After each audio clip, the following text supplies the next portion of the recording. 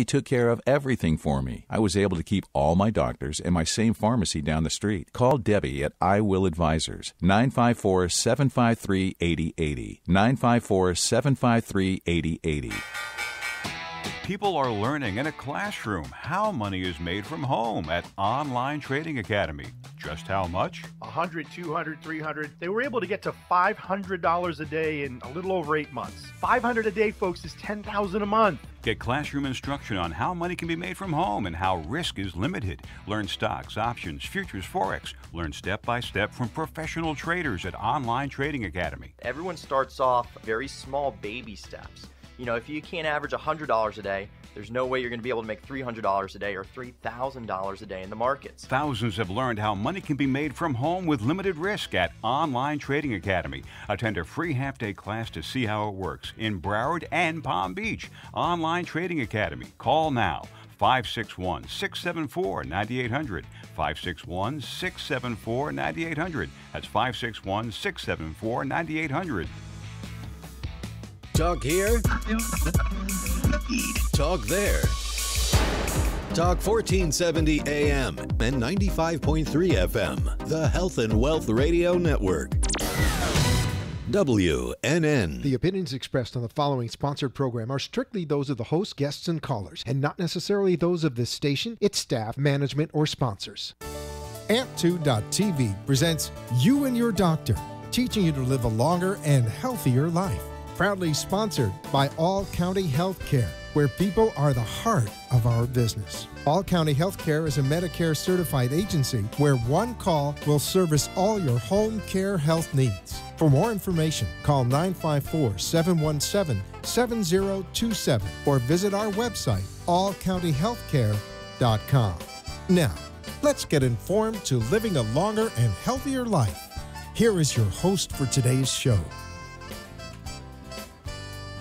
Hi, welcome to You and Your Doctor, where we're teaching you how to live a longer and healthier life. I would just like to say at this moment that we're sending prayers and thoughts out to our friends in all the Texas areas that were hit so badly by the Hurricane Harvey. We are keeping you in our our prayers. We're sending you uh, lots of energy and love, and also donations. So our our thoughts were with you. We are being presented by AMP2 TV and proudly sponsored by All County Healthcare, a Medicare certified home health agency, where we also are teaching how to live a longer and healthier life, where patients are the heart of their business as well. So we are streaming live right now on 1470 AM and 95.3 FM. And we're also on All County Healthcare Facebook fan page. So you can follow us there live. We're also on AMP2 TV and YouTube. So, welcome. It's great to have you here this evening. We're here every Tuesday between the hours of 6 and 7. So, if you have any questions whatsoever for our doctors this evening, please give us a call at 888 565 1470. Or if you have any questions for any of the doctors and or All County Healthcare, please give Maddie a call at 888 717 7170. She would love to answer any of your questions for you or get you in touch with any of our doctors. We also have the past shows that we have done archived on allcountyhealthcare.com. So take a peek on there. We have the experts here. So it is with great great pleasure that I introduce you to our next doctor. And I was told that he is an absolute expert in his field. so, welcome, Dr. Erik Beyer. Thank you. And you are a cardiothoracic surgeon. That is correct. Yep. Excellent. Excellent. Now, I was told he is the best in the field. Am I correct in that? Well, you know, uh, we get very, very good results, and we're focused on uh, patient safety and the results. So I'm very proud of the results that we achieve at uh, Florida Medical Center. So, yeah. That is wonderful. That Thank is you. wonderful. And I, and I love Florida Medical Center. That is a great hospital. I'm very familiar with it. Thank you. Yeah. So one of the things that I'd like to ask is what what made you decide to go into this particular field or just being a doctor? Yeah, that's an interesting uh, question. Um, I, you know, ever since I could remember, I have told my uh, parents that I wanted to be a doctor. So it's hard for me to pinpoint exactly where that um, came from. Uh, uh, but I do remember, you know, very early on in, in life, you know, going to the library and, you know, back when you could check out books and stuff, you know, going there and looking at, at, at uh, you know, all the different types of uh, pathology books and doctor books. And uh, I was always very interested in it. I don't That's know why exactly. Yeah, my mom always tells me that. I said that from a very early age. So. Wow. Yeah. So what made you decide to go into this particular direction? Yeah, yeah, that's a good question too. You know, in medical school, you know, once once uh, I, I was in medical school, I had the opportunity to be exposed to uh, surgery, and uh, I was exposed to pediatric uh, surgery uh, while I was there. There was a nice surgeon that took me in uh, when I was, uh, you know, my second year of training, and uh, you know, I spent a lot of time with him, and uh, I thought, you know, this surgery is kind of a kind of my thing. And uh, then I did a general surgery residency in Houston, uh, and, and I Oh, want to reiterate what you what you said. You know, our prayers go out to them. Yes, I still have a lot of friends there. You know, I lived there for uh, ten years, and uh, and uh, you know, two of my daughters were born uh, there at the medical center. So. Um, yeah, it's a that's a that's a big deal, and uh, you know all those pictures. You know, I know all, those places that they're showing. It's terrible. But having said that, I did train in Houston. It was a great uh, medical center there, uh, and I did my general surgery, and I was exposed to open heart surgery while while in training for general surgery. And I thought, wow, that's you know, I like this a lot. And uh Uh-huh. so um, I, I went on to the Cleveland Clinic Foundation in Cleveland, Ohio, and uh, trained there to become an open heart surgeon. And so that's kind of that's kind of my history on that. Yeah. Wow. Well, you know something, and I also know the Florida Medical Center has really amped up their uh, cardio uh, department. That's right. They're, they're, they're, it's amazing some of the things that they are doing That's when that's it comes exactly to the right. heart. Yeah, we have a uh, hybrid operating room where we work closely with cardiologists doing doing combined procedures. Uh, They Hmm. just opened up an electrophysiology lab uh, that's state of the art uh, Wow. for Broward County. And um, so, you know, we have uh, great electrophysiologists. I think you've probably met a, a couple of them along the way, um, like Dr. Kenningsberg and Dr. Nairi, and they uh, they uh, they're they just they're s- uh, such a joy to work with, a pleasure to work with. It's nice having that nice collaborative approach with the with the cardiologist uh, that I, I get to work with. So yeah, no, it's been exciting. You know, Brow- uh, Florida Medical Center was the first hospital in Broward County to do open heart surgery. And uh, and so I think we we uh, you know we kind of respect that tradition, and uh, we're trying to get back on top of things and, and be the number one uh, place to, to come to for uh, for heart care. Wow, that's that's absolutely fabulous. Absolutely fabulous. So I read a little something about chocolate. Yes, yes, yeah. and possibly wine. Yes, yeah, red wine and chocolate, well, alcohol and, and chocolate. Believe it or not, yeah, it's kind of a fun topic to talk about, and a lot of people are interested in it, which is eh, which Well, is which is nice. Yeah, of course, it gives them of permission, a, kind of a guilty pleasure. That's exactly right. And uh, you know, d- dark chocolate, you know, seventy percent or or higher. Uh, you know, has are very rich in uh, what's called flavonoids, which are uh, you know a big time antioxidant, which uh, which you know when it's when it's uh, circulating in your bloodstream is very healthy for your blood vessels. And so, uh, you know, over time they've done many studies, and it seems to be bearing out that you know eating you know a couple ounces of dark chocolate every day is probably not a bad thing. In fact, I keep. Uh, you, it's funny if you yeah, if you looked at my cupboard, there's always uh, at least four or five bars of dark dark chocolate, and that's kind of my a little bit of my go-to snack. You know, it's it's it's obviously a lot more bitter than than uh, than milk chocolate. But I bet it tastes great with wine. Uh, and that's Red wine. yeah, that, that's you nailed it. That's exactly right. And so uh, red wine is. Uh, and it's funny. You'd be hard pressed to find a uh, heart surgeon that doesn't uh, that doesn't drink some red wine. A lot of cardiologists do too. I know a few that own some vineyards. Believe it or not. Oh my gosh! But yeah, they get that into it. But um, Yeah. again, same thing there. You know, uh, the flavonoids in in red wine seem to have a protective effect, and so you know, one or two glasses of red wine in the evening is. Uh, is considered, you know, fairly healthy. Obviously, don't don't drive after that, but uh, Right, right. But uh, you know, th- that's That's very yeah, interesting. yeah. And uh, but it's it's true. You know, I have to admit, over the years of me doing this, uh, it's funny. You'll see uh, you know, I've worked in the deep south before where there there's a lot of people that smoke and don't drink, and uh, there's a lot of coronary disease there, believe it or not. And uh, yeah. you know, I've met uh, you know uh, siblings that have uh, you know um, uh, you know obviously genetic similarities, and you know you know one will have uh, uh, bad coronary disease and doesn't drink, and the other one you know has some red wine in the evening and doesn't have any coronary disease. So it's it's funny you'll you'll see that you know kind of these examples are Mm-hmm. they're uh, you know they're they're individual examples, but over time you really Well, do get that eh, that yeah, you get that generalization. that general, that general uh, feeling that Yes, that- yeah. there's probably a lot of truth to this. So I'm going. there you go. I- yeah, I'm, now you I'm know what to stopping do. at the store. You need Absolutely. to stop at Whole Foods or Publix on the way home. I'm getting some dark chocolate. That's right. That's right. Now that Whole Foods is I- a lot cheaper. Well, you know, I already had the red wine. oh, that's excellent.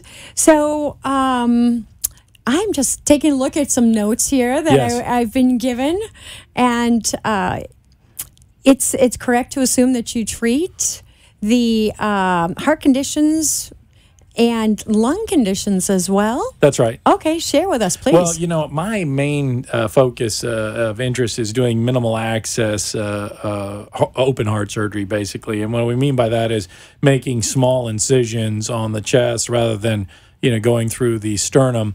Uh, And so that's kind of my main interest. And we do a lot of uh, valve work that way, or I do, and a lot of uh, treating arrhythmias like atrial fibrillation that way. And Okay. uh, and so um, you know, working with other cardiologists, uh, it's it's uh, you know we, we we have a, a you know a very specific game plan for each individual patients, and um, and so but that's what I really try to focus on. Well, that's really quite state of the art. Now, you do that through a specific type of machine. Well, you know, we you know we use small incisions, and there's a lot of very special equipment that goes with it. You know, there's a there's a small, eh, very specially designed retractors, specially designed instruments. You know, we use a, a, a small you know uh, camera that uh, has a light on the tips and Oh, those kind of things. Okay. And so, and there's special uh, you know cannulas that we use uh, to get people on bypass. So there's a lot of you know there's you know you really have to shift your your uh, thought process, your mi- mindset when you're doing um, mini access uh, heart surgery versus doing it through a sternotomy. You know, and uh, you know Yes. the benefits of it is that pa- patients uh, don't require uh, as much blood. You know, uh, our, our percent a chance of getting blood uh, after undergoing a, a mini access surgery is much lower than if you went through a, a, a big uh, open operation, and and uh, people get out of the hospital a little bit faster. And uh, they recover faster, and uh, Right. and so those are kind of the and it's benefits. probably it, it, we, I mean, usually what you had seen was that you were opening up the whole chest cavity. Right. Right. And did you have to then uh, open up the the uh, rib cage as well to be able to get to the heart? Well, you know, when you go through the sternum, you just, you know, you you put a ret- retractor in, and Mm-hmm. you know, you're right in the middle of the chest and looking down on the heart. And you know, when you close that up, you have to put wires in, and uh, you know, sometimes people get infections in those areas, and and so that's another benefit of doing it through a small access insert uh, Oh, yeah. incision. So That's fabulous. yeah, yeah, it's it's, That- uh, it's very uh, it's it's it's very satisfying when you see how well the patients do, and and that they uh, you know they're back on their feet pretty quickly. So. That that is absolutely wonderful. Yeah. So and you work with the lungs as well. Yeah, yeah, we do some uh, lung surgery. So you know, people that come in with uh, uh, um, lung tumors uh, and uh, and uh, pleural-based diseases is what we call that um, around the lung. Uh, we do surgery for that as well. We try to do them through small incision surgery as well. So That's fabulous. yeah. So, uh, doctor, how did they get a hold of you? Yeah. Oh, that's a good question. Yeah. You know, you can look me up online. That's probably the easiest thing. If you just Google, you know, Erik Beyer, Florida Medical Center. That's spelled B E Y E R. That's right, E R I K, and then B E Y E R, Florida Medical Center. Okay. And you know, there's a web page there, and it's it has uh, all the information, including you know phone numbers and, and contacts and and those kind And of what things. insurance you yeah, take as yeah. well. We pretty much take everybody. Uh, Oh, You know, there was a time where Humana, there was an issue with Humana, but now they're now they're back on Are board. they? So, yeah, Okay, yeah. So okay, we're, we're, all, we're all we're all squared away. So there's not really a, a lot of insurance uh, uh, Issues? issues there. Great. And what's your telephone number? Uh, you uh, you would you would ask that. I I'd have to I'd have to look that up. My office number, but you know I'll give people my cell phone number. Believe it or not, as crazy as that sounds, I've That- done this before, and I'm going to do it on on the air. Are you But yeah, okay? yeah, wait a minute. Wait a minute. Let, let's set this up. No, this is my cell phone, personal cell phone. Personal cell phone. Yeah. I have got to tell you, I have never in my life heard of a doctor giving his personal cell phone. Yeah, yeah, and I've done it to uh, pretty much all the patients I operate on. You know, get my cell phone actually, and uh, Wow. yeah. So I'm gonna I'm gonna do that on on air here. It's seven eight six two zero two three five three one. And uh, and then uh, obviously you know there's a i- if I don't answer you know if I'm in surgery or something like that then uh, you know it'll go to an answering service so Okay, you, then you get a hold of me that way. Oh my gosh, that that's, you know, I, I just want Well, to say I- thank. yeah, yes, I love doing ahead. this so much, you know, and I love taking care of patients so much that it's uh, you know something that that uh, that uh, interests me, and we love talking to uh, to to patients as well. So get oh their Oh, problems fixed. Oh my and goodness. if we can't do it, we'll get them in the right direction. Well, that is absolutely wonderful. I am like totally amazed. Yeah. You know, thank you all County Healthcare for sponsoring this show so that we can bring on these type of doctors for you.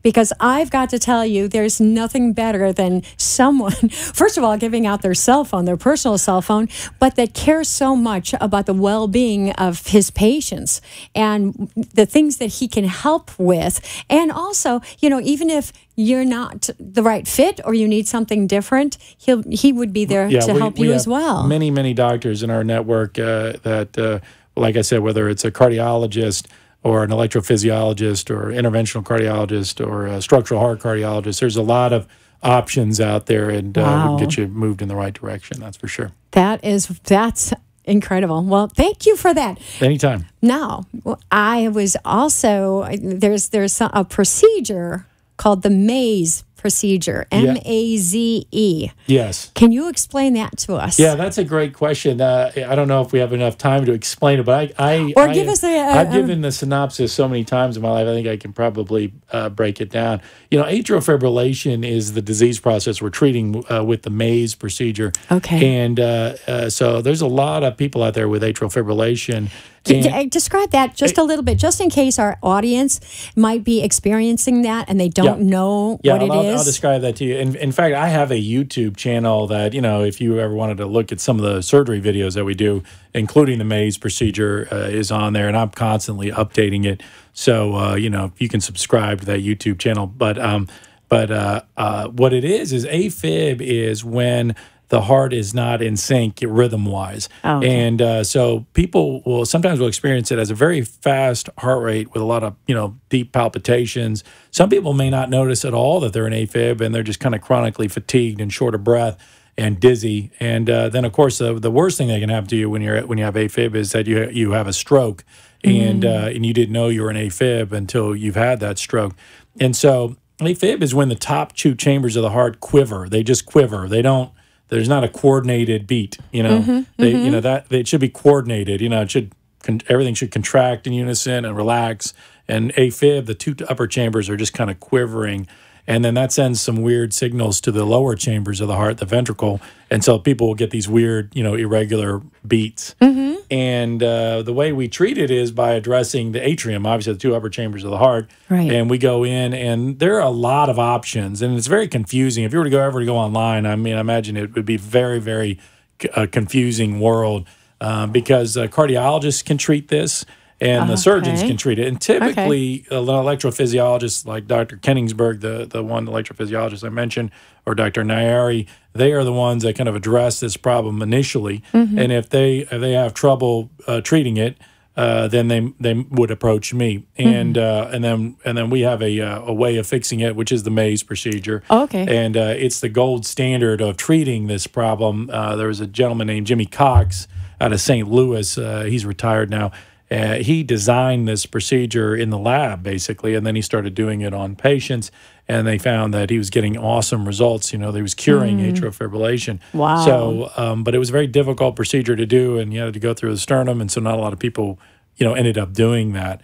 And then uh, over the years, over the decades, we've uh, figured out kind of maybe where to pinpoint the disease, uh, and sometimes uh, it's not. It's not. You know, you have to go, undergo the the maze, and we've we have new devices now that we can go through small access uh, like I was talking about, incisions, Oh, yeah. and uh, and and what we do is we kind of create a maze on the heart. Believe it or not, we create um, um, scars on the atrium so that the electrical uh, impulse will follow that maze. Believe it or not, yeah, and that's Really? that's why they call it the maze procedure because it because you know you know when you if you were to draw it out, it almost looks like a maze and uh, and so and a lot of people added Jimmy Cox's name to it, so they got the Cox Maze procedure, and so that's that's why it's called that, you know, and uh, i and there's a lot of iterations of it, so it can be very confusing world for for patients that have AFib. Oh, absolutely. Yeah, yeah. Absolutely. And and and very much scary too, I would right. imagine. That's right. That's right. Because sometimes you just don't know what in the world is going on and why this is happening and it, yeah, it can be a little oh yeah, it can be daunting. It can be daunting, no doubt about it. Well, and what is September then? Also, I know what is September. September. it's atrial fi- fibrillation awareness month. Is that right? Yes. I did not know that. They keep coming up with these things. I know. I know. Uh, the you know the heart disease month is February, but I did not know that. That's interesting. So it's actually interesting. I operated on a lady, and I'm sure she doesn't mind uh, me telling you. Her name's Mellanie True Hills, and she started uh, a website called StopAFib.org.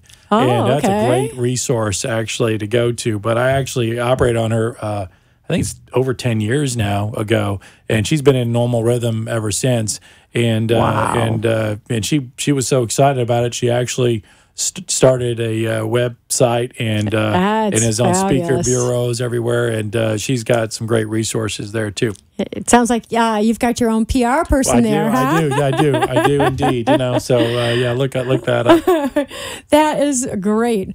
Now, uh, give us a little bit of information about the hybrid uh, convergent procedure. Yeah, again, this is where I was saying it gets a little confusing. Okay. Uh, there's there there the Cox maze is uh, is a procedure that you know we tailor sometimes to some patients, and then there's another procedure called the convergent procedure where Okay. it's a combination of of the electrophysiologist and the surgeon doing the procedure. Mm-hmm. And basically, we you know this this is a uh, this is a uh, hybrid approach to treating this problem and uh, ad- addressing uh, issues uh, with AFib, and it has a fairly high success rate too. It's not as high as the Cox Maze four, but it's it's a little less traumatic to patients, and so we're we're trading off, you know, um, you know, uh, uh, success for less trauma to the patient and and faster recovery time. But you know, we're starting to see very good results with this, and so basically, there's a you know small incision that's made underneath the sternum Oh, okay. and we go in and uh, and ablate uh, uh, or cause the scar tissue to the back wall of the atrium, which is uh, where a lot of the AFib seems to be generated from. And so that's another way to treat this uh, issue too. And again, you know, we tailor the procedure individually to the to the patients. Excellent. Yeah. Excellent. That's great to know. That's important thing. 'cause you want somebody that can do everything. Yeah, yeah, absolutely. You know, and we, uh, there, you know, we go from you know just just uh, transcatheter ablation all the way to doing the Cox Maze four through small access surgery. So we we have the whole gambit. Uh, that is awesome. Yeah. Well, I, I've got to tell you, it, it has been a pleasure. I, I'm just double checking here and make sure that I've. Oh, I know what else I want to ask you about. Uh, VATS. V A T S. What does that, That stand for? That stands for? for uh, video assisted thoracoscopic surgery. So that's that's uh, also the, what we're talking about doing small access surgery on the lung. So it's with a video okay. video video scope, you know, Uh-huh. and it's assisting you to do the uh, the the surgery on the lung, and so that allows us to do smaller incisions. Uh, and uh, you know we can even remove lobes of the lung through through these kind of small incisions uh, for you know lung cancer, lung, lung tumors. yeah. Goodness. So, uh, give our audience some um, preventive ideas on what to do, what not to do when it comes to your heart. Yeah. Um, you know, obviously, the biggest thing I think you could do is don't smoke. You know, I hate to say it, but uh, you know, I know a lot of people are out there that that uh, are uh, you know they they uh, they really enjoy their cigarettes, and I you know I tell people I you know I don't I'm, I'm I don't try to lecture smokers because it, it really doesn't go anywhere uh, lecturing people. I think it's it's about giving them uh, you know knowledge and, and understanding Right, about right. you know what they're doing to their health and um, you know, and to be honest with you, my my mother smoked in the past, my dad smoked in the past. You know, back in the in the seventies, it was quite fashionable, I think, to, to In the smoke. 60s. In the sixties, for sure. Yes. And uh, and I, I I even remember seeing some commercials where some doctors were were saying, you know, after surgery they like to have a smoke, you know, and so, but what you know, what we realized over time. Uh, and Michael DeBakey, actually, uh, who's now you know is long, yeah, one of the famous heart surgeons from uh, Houston, uh, who's no longer with us, obviously. But uh, he he was the one that helped uh, figure out that uh, that uh, that uh, lung cancer uh, came from smoking. But also, we found out since then, you know, peripheral vascular disease, uh, coronary artery disease, carotid artery disease, all of that is certainly, uh, you know, aneurysms of the abdominal aorta, thoracic aorta. All those are certainly related to uh, smoking. And so, Wow. and so, it's important to, to realize that that's very important. uh, Not to getting Yeah. getting some exercise, even if it's just getting out to walk. You know, 10, Mm-hmm. 15 minutes a day is a good idea. And and and try to eat those antioxidants that we talked about. And they're in a lot of foods. They're in uh, vegetables. They're in uh, uh, you know in in uh, some fruits and. And so that's why it's important. You want- Chocolate, dark yeah, dark chocolate. chocolate. One, you want to kind of bombard your body through the day with uh, with these antioxidants. I think they're very Mm-hmm. helpful. Um, you know, and so that I think that's uh, you know how you eat and you know exercise and try not to smoke. I think would be the uh, most important thing. You know, and I'm, I, I just want to ask a little bit more because, you know, the big thing now is vaping. Yeah. What do you see versus regular cigarettes you know, versus I, vaping? I, I, you know, I think the jury's out on that. Uh, you know, my general impression is that it, if if you had to pick one, you know, if you're forced to pick one, I think vaping probably probably would end up being better. But you know, I don't know. Maybe in ten years' time, I'll I'll look back at this uh, conversation and say, well, I was wrong. But uh, I think it's it's it's still it's just not it's it's not It's uh, not well understood. Well, that's and, true. And and, Yeah. uh, and um, and we don't have the results yet of you know because that people haven't been vaping that long, and uh, you Mm-hmm. know time will tell you know how how bad it is. But I I, I probably you know would err on the side of caution there and just avoid uh, you know being Just addicted don't to smoke at nicotine. all. You know, Yeah. nicotine is extremely addictive. There's no It doubt about it, and is. and, it, and it's very pleasing to your mind. That's why people do it. They don't do it because you know they're you know they're wanting to make their family members mad. They're doing it because it relaxes them and it gives them a you know sense of ease and peace and uh, and uh, and so there there's a very strong addiction uh, uh, component to this, obviously, uh, and uh, and so you know understanding that and understanding uh, you know your your you know the the weakness. Uh, uh, uh, to that is is important part of learning how to how to stop smoking. yes, absolutely. Yeah. I completely agree. Yeah, yeah. I was watching um, uh, House of Cards. Uh, you know, I was catching up. Well, you know that that show. Uh-huh, uh, yeah, with, yeah. have you ever watched it? There, Uh, a little bit, yes. Yeah, they, and uh, and uh, Kevin Spacey's always, you know, he's a politician in there, and they would they also have a smoke at the end of the evening and uh, relax. You know, Yeah. and so you know you can really get in the mindset of a smoker. You know, and and uh, understand why they do that. And uh, yeah, it's but it's it's it's killing you, literally killing It you. is. Yeah. Yes, absolutely. Well, I cannot thank you enough for being on our show tonight. Yeah. Because I do know how busy you are and that you took time out to come and help educate us, teach us about your particular expertise. Yeah, it's my pleasure. Absolutely, uh, my pleasure. which I've heard you're the greatest at. okay? And if you, uh, you want to get a hold of Dr. Beyer, please give him a call at FMC or go on the website at FMC and ask for him. Uh, and if that doesn't work, you can always call All County Healthcare. Uh, ask for Maddie, and she's at 888 717 7170, and she'll put you in touch with the doctor as well. So thank you again for being here. We so appreciate it. Thanks. And we're going to go on a commercial.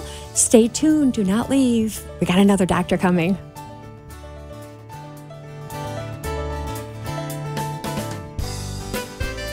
County Healthcare, Inc. is locally owned and operated, serving the Tri County area, Palm Beach, Dade, and Broward counties for the last 25 years. The practice of medicine is changing dramatically.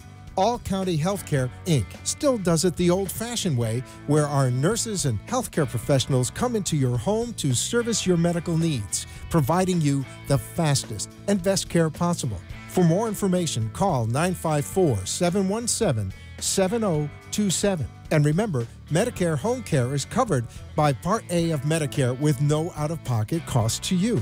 It's your decision and only your decision on what healthcare agency you use. Call today. All County Home Health Care Inc. at 954 717 7027. License 200999096. Getting older is not for sissies. That's what one of my patients says. And it's funny, but it's true. Live long enough and you'll get arthritis, skin cancer, probably one of the common chronic diseases like CHF, COPD, diabetes. At All County Healthcare, we teach you how to manage your disease. We make sure you know how to take your medications and how to recognize signs and symptoms before requiring hospitalization, no matter how many visits it takes. You didn't move to Florida to be sick. You moved here to enjoy the rest of your life. And that's exactly what our team of nurses, therapists, and aides at All County Healthcare help you do. You are listening to You and Your Doctor Living Longer and Healthier, an informative show that helps you find answers to questions you always wanted to ask but did not have that somebody that could make a difference in your life. Call into the show if you have a question at 888 565 1470, and we will put you on the air to inform all our listeners. Now, back to our show. Hi, welcome back to You and Your Doctor, where we're teaching you how to live a healthier and longer life. And uh, just a little note out to our uh, friends in Texas, we send prayers and thoughts to you and speedy recovery, hoping that everything uh, gets cleaned up real quick and you'll you have the ability of getting back on your feet and back to living life the way you knew it to be. So, we're here with another wonderful doctor. He happens to be a plastic surgeon. His name is Dr. Hilton Becker, and uh, he's got some very, very interesting uh, information for us. So, welcome, Dr. Becker. It's wonderful to have you here. Thank you. Uh, thanks for taking time out and being with us. My pleasure. So tell me, where did you, when did you decide that uh, being a doctor was something in your blood, that you had a passion for it? Well, I've always been interested in um, physical things, mechanics. I did physics and chemistry in pre med, and I was leaning towards engineering. wow, so, okay. well, engineering of the yeah, of the body. exactly. So um, I started medicine, and I realized that there was quite a lot of engineering in medicine, especially in surgery. Mm. So I drifted into surgery. Then I saw what the plastic surgeons were doing, and I thought that's just for me. Excellent. So I started plastic surgery. So, uh, and where did you do your schooling?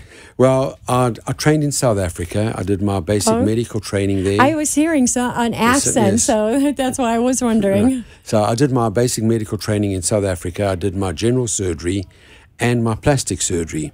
I then did a second residency in the United States at the ah. Medical College of Virginia. So I've done two plastic surgery residencies. Excellent. Yeah. Wow, that's fabulous.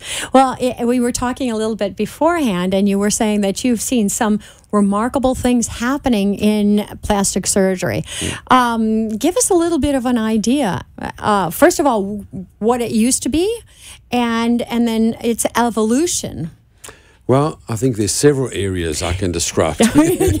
um, I think one of the biggest things we've seen is now in the era of minimally invasive surgery. Ah, yes. So I'll, I'll give you two examples. When I started my training, if a young girl came in for a breast reduction, for example, mm-hmm.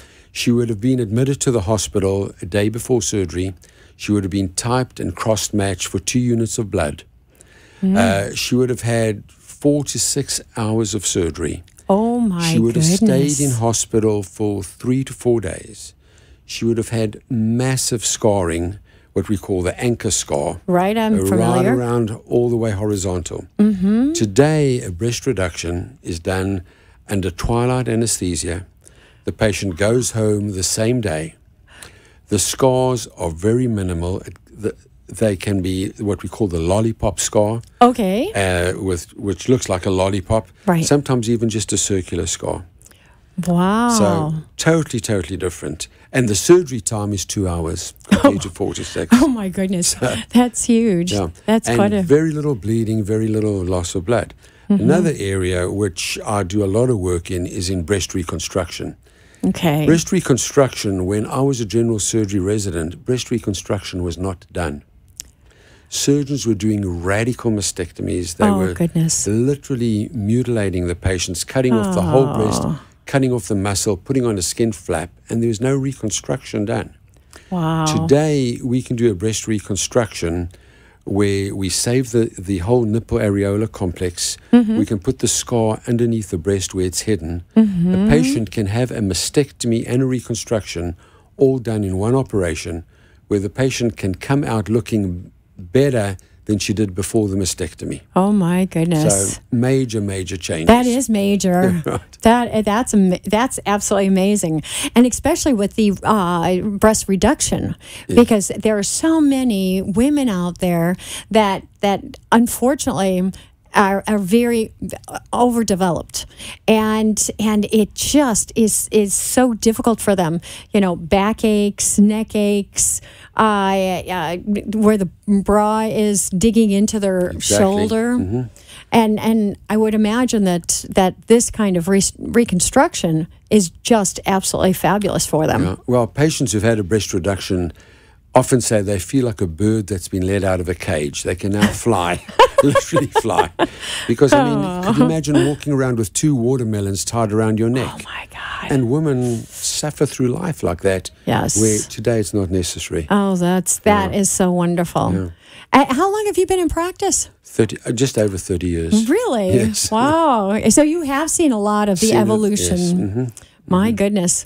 So on reconstruction um, for cancer patients, explain to us. You know uh, what some of the procedures are. Um, give us some insight as to what is available for them, especially if they have to lose all of the breast tissue. Yeah. Well, are several procedures available. Uh, you can use your own tissue, which is called autologous reconstruction. That involves moving tissue from one part of the body to another.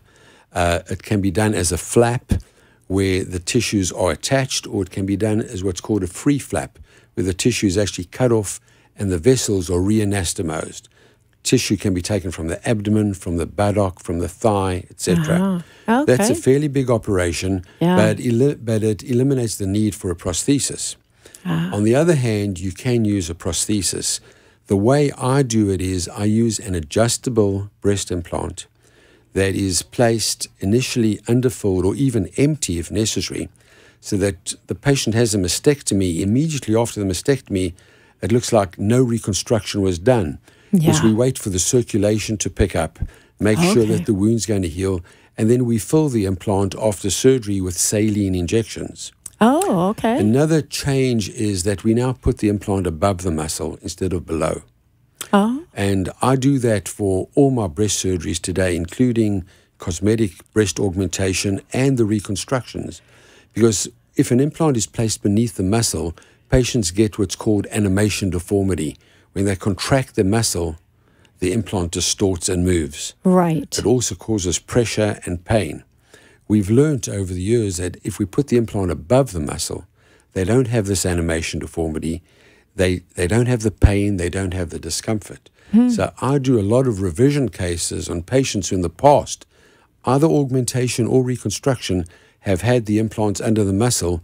We convert them to above the muscle. That's really interesting because I remember when they first came out, it was above the muscle. Yes. And then it made a very strange indentation in the chest cavity, especially when, you know, you would have a level of cleavage.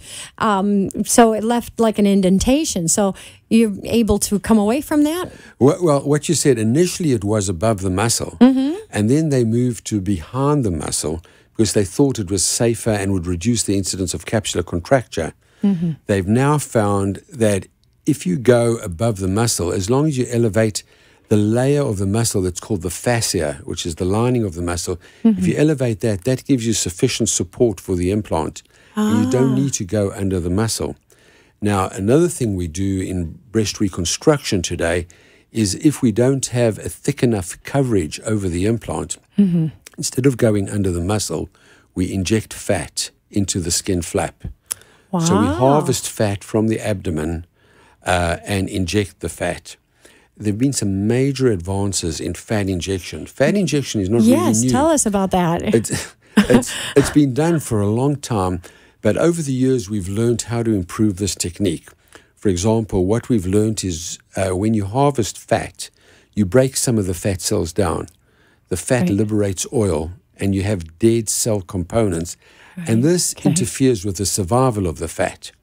So if you can clean the fat very well, get rid of the oil, get rid of the dead cells, the fat will survive better. We've also learned how to harvest the fat less traumatically, how to inject it less traumatically. And what I'm doing today is I'm using PRP, which is platelet rich plasma. okay. And what platelet rich plasma is, it's blood that we harvest from the patient. Mm-hmm. We take out the red cells and we concentrate the platelets. The platelets have the growth factors, which stimulates the tissue and helps it survive, and also stimulates collagen formation. Ah. Fat cells also have what's called stromal vascular fraction, which is the connective tissue of the fat. So we've learned today how to harvest that portion of the fat which contains the stromal vascular fraction, which also contains the stem cells. Excellent. So the stem cells are the rejuvenating cells. Right, right. So when you inject stem cells, for example, into the face, it rejuvenates the skin. Mm-hmm. So we can harvest fat, we can concentrate the stem cells, we can concentrate the platelets, now injected into the face, uh, often taking place of a facelift. And in the face, we can inject the forehead, the upper lids, the cheeks, the chin, the whole face. So we're doing much less facelift surgery compared to what we were doing in the past. We're doing filling surgery. So I've drifted off the breast No, no, reconstruction no. for a moment. But, but, th- that's all good Right. knowledge. That's uh, that's amazing knowledge. So coming back to the breast reconstruction Right, now, okay. with the tools of the stem cells and the f- and, and the PRP, Mm-hmm. we can enhance our fat survival. So we can thicken the flaps with less need to bring flaps in from other areas of the body. We can thicken the, the flap that is left behind by Uh-huh. the general surgeon, which makes the reconstruction much easier. Wow, that is absolutely amazing. I love hearing about that. That's incredible. Now, with the fat harvesting, um, is, is is it just a, a clump, or do you mold the f- the fat, or how does that work? Well, the harvesting is done exactly the same way as liposuction. Okay. So we do liposuction, Mm-hmm. but instead of throwing the fat away, we save the fat. I always say fat is a terrible thing to waste because it is so useful in the body. Instead of throwing it away, you can salvage it and utilize the various components in the fat Uh-huh. to do a whole lot of things. I told you with the face, Yes. uh, we can inject it in the breast, even in patients having a breast augmentation to give a better contour, a better shape. And does the fat stay then in that The space? fat stays where we injected. Wow. The fat is injected with a syringe, just with a Mm-hmm. needle. The same as the various fillers, you know, like Restylane Oh, or yes. Radiesse. You Yes. can put fat into a 1cc syringe and inject it very much the same way. So you can rejuvenate the face, you can fill the breasts, you can even, in certain patients, you don't even need to do a breast implant. You can get a small breast just with fat injections alone. That is amazing. That is really incredible. Hmm.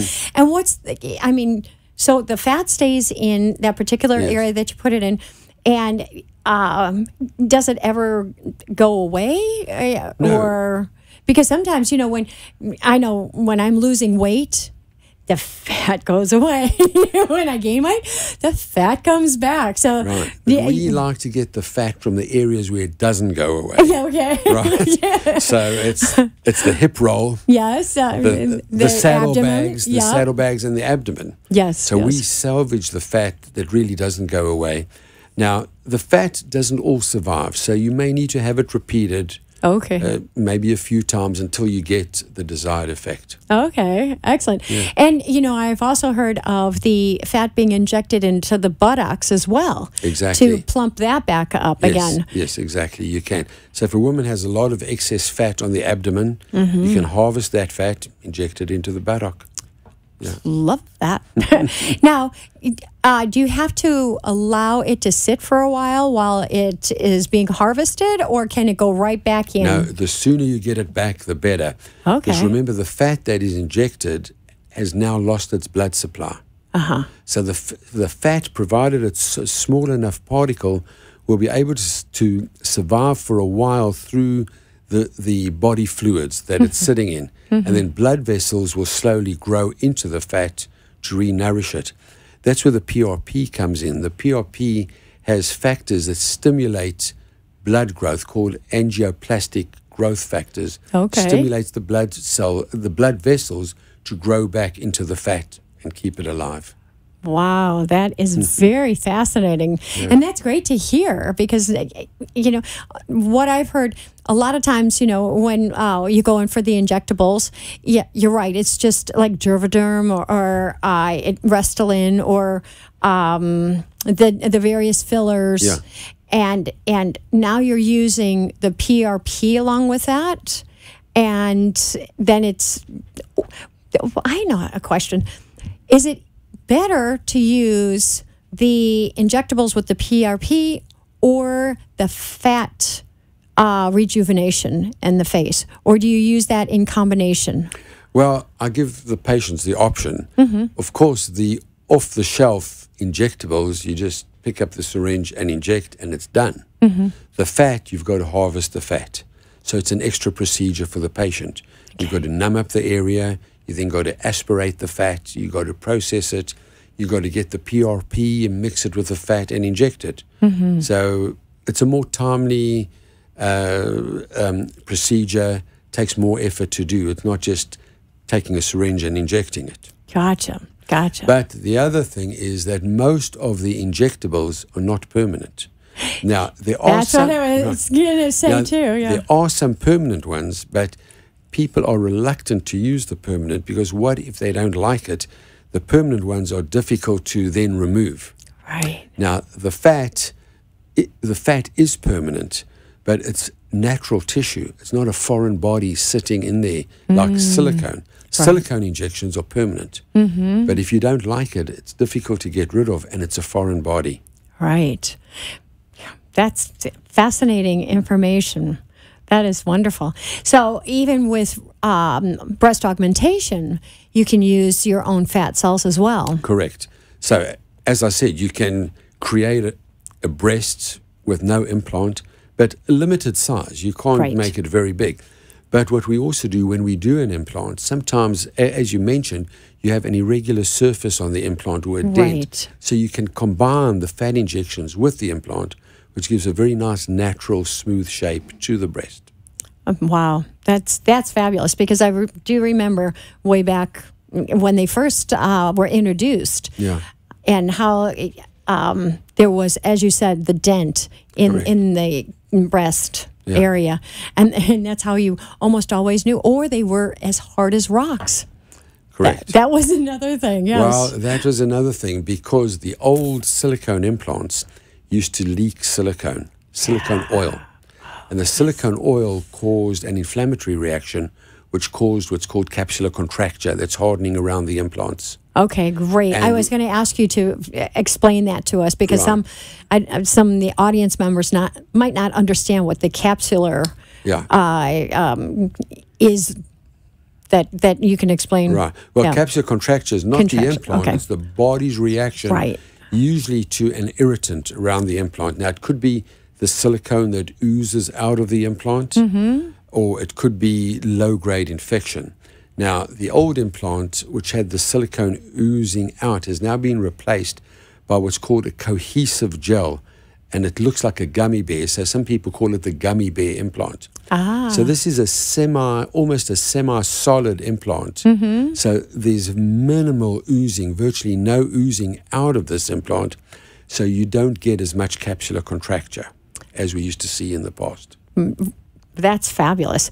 So, and uh, the other thing too, is, um, that there was a lot of uh, lawsuits that came about because of the silicone leaking within the body. Correct. Um, do you see any more of that happening? At, No. because they've now changed it to the cohesive gel, the gummy bear. Okay. And also all these alleged illnesses that silicone was supposed to cause, uh, medical literature has refuted m- most of that. I mean, there's, there's no real evidence that silicone causes these autoimmune diseases.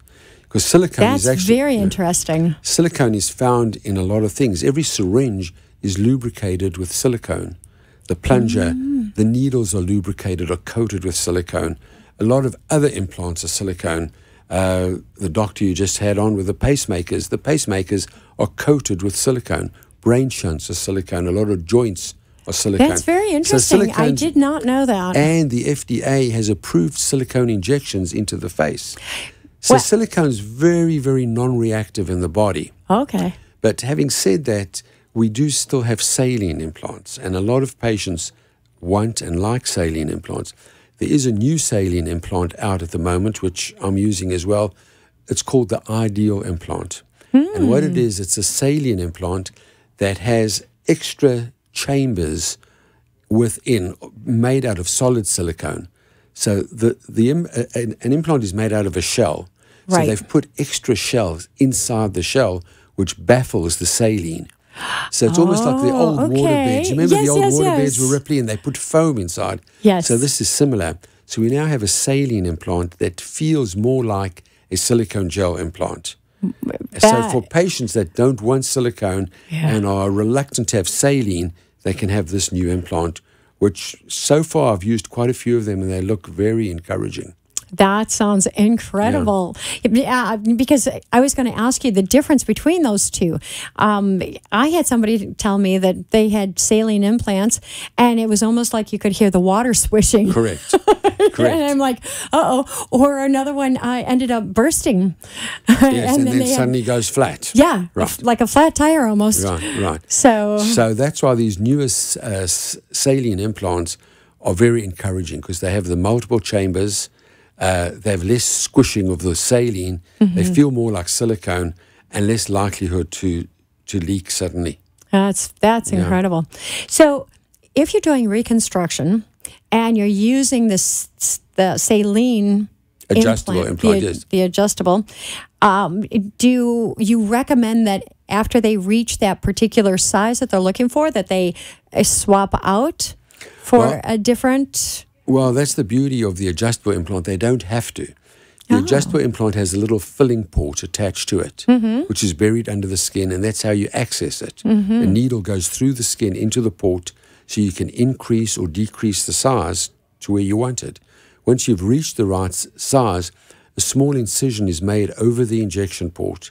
Mm-hmm. The injection port is removed with one or two little stitches, and then the patient is done. But at that stage, she has a saline implant. Gotcha. Now, if her tissues are very thin and she has some rippling, she can switch it out to a silicone implant instead of the saline. Okay. So she's not committed to the saline, but she's not committed to having to remove it like a tissue expander. If Yes. a patient uses a tissue expander, that has to come out. It You're cannot right. stay in. It can't stay in. Right. Yes. Yes. Um, with that being said, also.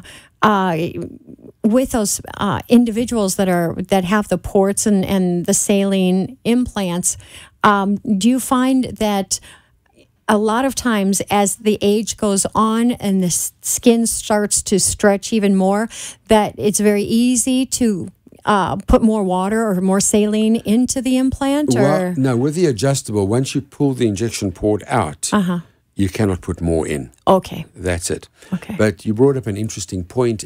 As women get older, Mm-hmm. they now don't want the implants anymore. Mm, really? Yeah.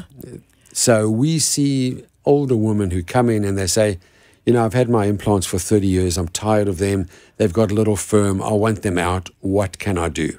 Wow. So they have quite a few choices today. It's not just rip the implant out and leave them with uh, skin bags that are just hanging. Right, right. We can take the implants out. We can inject what's remaining with fat Oh. and leave them with a small, normal, natural breast without an implant. Uh-huh. We can rearrange the tissues, bring in tissues from the side and from the bottom to give more fullness, even without an implant. Or we can do what we call a mastopexy, a breast lift. So we can take the okay. remaining tissues, rearrange it, give them a smaller, lifted breast. Mm-hmm. So when they remove the implants, they're not left deformed. That's what I was wondering because, you know, you're right. As we start aging, you know, that skin begins to uh, continue to stretch. Stretch and sag, and yeah. yes, and uh, and and also with aging, you know, the skin is not elastic anymore, so it really doesn't bounce back the way that it would normally, you know, bounce back when you were younger. Exactly. So that's that's very interesting. That's good to know. but I'm surprised that a lot of the older uh, women would prefer to remove the implant and not have it any longer. Yeah. Well, especially the ones who've had the older implants that have Oh, become yeah. hard Yes. and firm, they want them out. But um, you know, the other thing with a lot of women, as they get older, their breasts get bigger, and now they've got the implant and the increase in size, and they want to be smaller. So instead of doing a, a breast reduction, we just take the implants out, rearrange the tissue, and they look much better. Now, one final question: Does insurance pay for the fat uh, injections if you're uh, doing reconstruction of? Yes. Okay. Insurance will pay for breast reconstruction after a mastectomy. Okay. irrespective of what technique you use. If you're going to use fat injections or a tissue expander or a flap or an implant mm-hmm. or even a revision, if you have a complication or you have asymmetry, they will also pay for a symmetry procedure of the opposite breast. For example, if a mm-hmm. woman has a mastectomy, she mm-hmm. has a very large breast on the other side, they will pay for the reduction on the other side or even a lift on the other side. Wow. Well, that's great to know. Yeah. That's great to know. It has been an absolute pleasure. How do people get a hold of you, Dr. Becker? Well, they can reach me at my website, Okay. www.beckermd.com. Okay. They can call me on my phone, 561 394 6656. Okay. Now, one more time and just a little slower in case they're running for a pen and paper. 561 394 6656. Okay. They can also call West Boca Medical Center, who will give them my phone number or my website. My website is www.beckermd.com. Okay, that sounds great. And if you do have any questions for Dr. Becker, you can also call All County Healthcare, ask for Maddie. That telephone number is 888 717 7170, and she'll put you in contact with the doctor. Well, it has been absolutely wonderful to have you here. Thank, you. so very Thank much. you very much. nice to see you. And uh, and that's all for this uh, show on Tuesday, the 29th of August. We look forward to seeing you next week, Tuesday, from the hours of 6 to 7. I'm Lorena Anderson. Thank you so much for being with us tonight.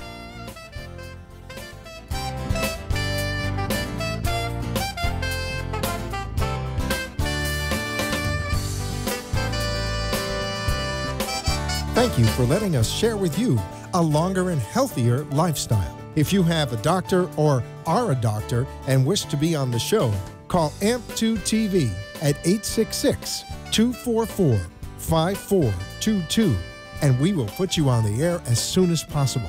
Tune in next week for more information on living longer and having a healthier life. The opinions expressed on the preceding sponsored program were strictly those of its hosts, guests, and callers, and not necessarily those of this station, its staff, management, or sponsors.